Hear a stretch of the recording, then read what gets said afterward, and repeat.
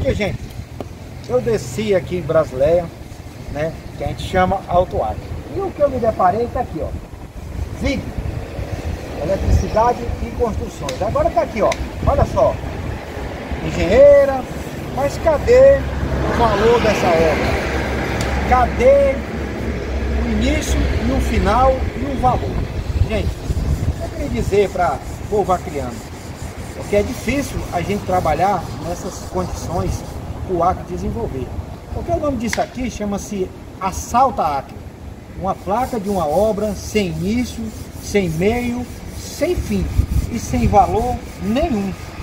Aí, quando se faz uma denúncia, que nem o senador Sérgio Petecão fez, agora do assalto a Rio Branco, pediu que fiscalizasse, já estão ameaçando ele, falando que vão fazer alguma coisa, que ele tem filho, que ele tem não sei o quê. Meu irmão, o pior safado é o construtor civil do Acre.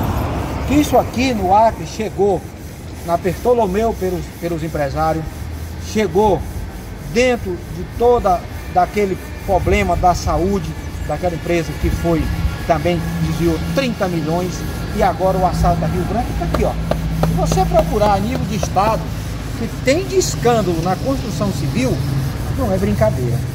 Cara, é triste quando você denuncia o empresário corrupto e ainda é ameaçado.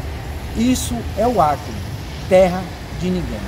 Porque parece que o Acre não é Brasil. O Acre faz parte de outro território. Porque quando se fala em fiscal, é hostilizado, é massacrado e o ladrão continua no poder.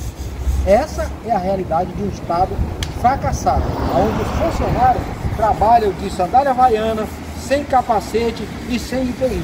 Essa é a realidade do Acre, do Acre. Devia ter vergonha na cara, não pegar a obra barata e manter a construção civil dentro do eixo que merece. Isso é o Acre, aqui é brasileiro. Olha, olha aqui, olha aqui. Ó. Cadê o valor dessa obra? Cadê o início, meio e fim? É vergonhoso, mas é o Acre.